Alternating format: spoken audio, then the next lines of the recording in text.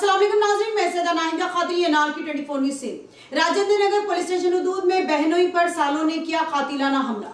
बताया गया है कि ये हमला तलवारों से किया गया, जिससे बहनोई और उसके रिश्तेदार शदीद जख्मी हो गए।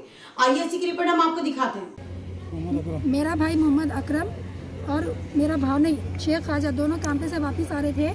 तो अकरम की बीवी समरिन उसके चार भाइयाँ और उसके बाप ताहिर। मिलके मेरे भाई के ऊपर, मेरे भौने के ऊपर जानलेवा हमला करे। दोनों उस्मानिया हॉस्पिटल में एडमिट है और दोनों की भी कंडीशन बहुत सीरियस है। ये झगड़ा अढ़ाई साल से चल रहा है। दो साल पहले भी 2020 में 15 अगस्त के दिन रात में 40-50 लोगों को भेज के हमारी भावा समरिन, हमारे भाई को जान से मारने की हरकत करी थी। पीएस में कंप्लेन करने के बाद जब पुलिस वाले आए तो ना डर के भाग गए थे। अब ये दूसरी बार है मेरे भाई के ऊपर जानलेवा हरकत हुई है। तो मैं अपनी हुकूमत से दरख्वास्त करती हूँ कि हमारे भाई के साथ इंसाफ करें और जो कोई भी है मेरे भा, भावज के भाइयाँ शेख फरीद शेख साजिद शेख माजिद शेख ताहिर और शेख ये वजह क्या है मैडम हमला करने की? पैसे चाहिए उन लोगों को। पाँच लाख की डिमांड रखे घर में हिस्सा होना है घर का हिस्सा लेके हमारी भावज के नाम पे कर दो बोल रहे उन्होंने और घर में नहीं रहते कहते अलग घर लेके रहो बोल रहे उन्होंने हमारा भाई घर अलग रह के रहने में राज़ी नहीं है। तो उन्होंने बोले घर में हिस्सा दे दो ना तो घर का पैसा मेरे नाम पे कर दो। मैं अलग लेके आगे रह लेती हूँ। और इसमें बीच में क्या बोले थे? मैं खुला देने वाली हूँ। मैं बच्चों को तुम तीनों बच्चों को तुम्हारे हवाले कर देती हूँ। मेरे को पैसे दे दो और मेरे को खुला दे दो। आज खुला देने का दिन था तो आज मुकर गई और बोली कि मेरे को पाँच लाख रुपए दे दो। मैं बच्चों को तुम्हारे हवाले कर देती हूँ। जब मेरा भाई पैसे लेके जा रहा था तो बीच रास्ते में मेरे भाई के ऊपर इन लोगों ने जानलेवा हरकत कर कहाँ पे हुआ ये हमला आपको? हसन नगर में हुआ। कितने जने मिलके हमला करे?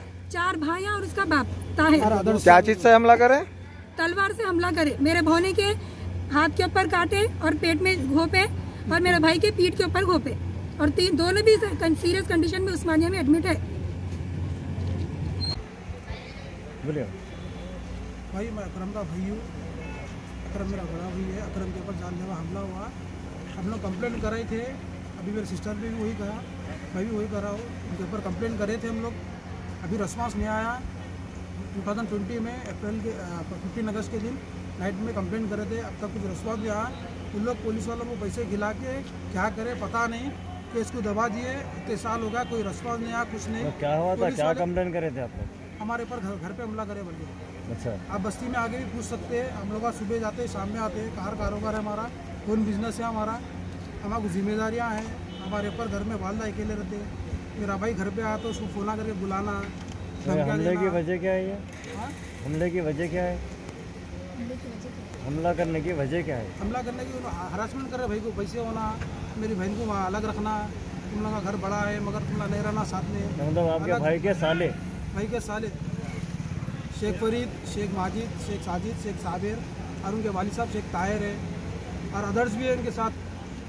मुझे पता नहीं और भी उनके साथ है सपोर्ट कर रहे हैं इनको। और पीएस में केस उनका केस आने नहीं दे रहे लोगों दबा दे रहे पुलिस वालों को क्या कर रहे नहीं मालूम है। मगर केस को रुका के रखे। आप देख लीजिए जाके 2020 में अप्रैल फिफ्टीन अगस्त के दिन नाइट में कंप्लेंट करें उसके सेकंड डे बुलाए उसके बाद से आज तक भी रिस्पॉन्स नहीं आया। आज मॉर्निंग में कॉल करे बोले हम लोग नहीं है। हम लोग जरा हमारे घर में छोटा सा फ़ंक्शन था हम लोग नहीं गए। आज कॉल करे थे लोग हम लोग बोले कल आएँगे बोल के तो बात करें। आज ना, नाइट में ये सीन हो गया ऐसा। दो जने अभी। मोहम्मद अकरम शेख खाजा।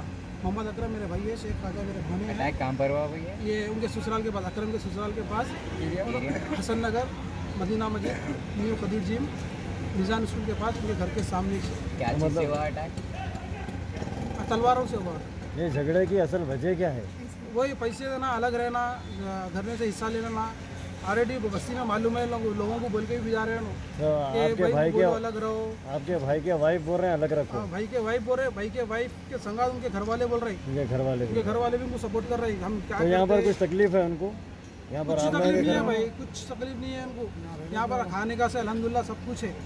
कुछ तकलीफ़ नहीं है उनको। फिर अलग लेके रखो बोलने की वजह। उनके घर वाले बोल रहे हैं पूरी जॉइंट फैमिली हमारी हम लोग सब मिलके रहते हैं। अच्छा। हम लोग नहीं रहना नहीं रहना बोल के लोगों डिमांड है लोग ऐसा कर रहे हैं लोग। तो उनको अलग लेके न रखने पे ये हमला हुआ। ये हमला हुआ है। ये हमला करने वालों के नाम क्या है? शेख फरीद ए वन है। शेख शेख माजिद है ए टू है। पूरे साले हैं पूरे साले चार साले है। और इनके वो है फादर एक है। मतलब उनके ससुरे? उनके ससुरे हैं और अदर्स भी है। मगर वो उन लोगों के नाम नहीं मालूम हुआ मगर उन लोगों के सपोर्ट में लोग कंप्लेन कराए। कंप्लेन करें हम लोग। राजेंद्र नगर पी से कोई रिस्पांस नहीं हो रहा हमारी तरफ़। क्यों नहीं हो रहा? क्या वजह है? हमारे रीज़न तो भी होना या नहीं तो हमारे कुछ तो भी एक ऑप्शन होना आप लोग इससे पहले जो कंप्लेन करे थे वो भी राजेंद्र नगर में। इसी तरह हम आपके सामने सच्चाई दिखाते रहेंगे। इंतज़ार करिए हमारे अगले न्यूज़ का। हमारे इस न्यूज़ के पेज को लाइक करिए यूट्यूब पे सब्सक्राइब करिए। जय हिंद।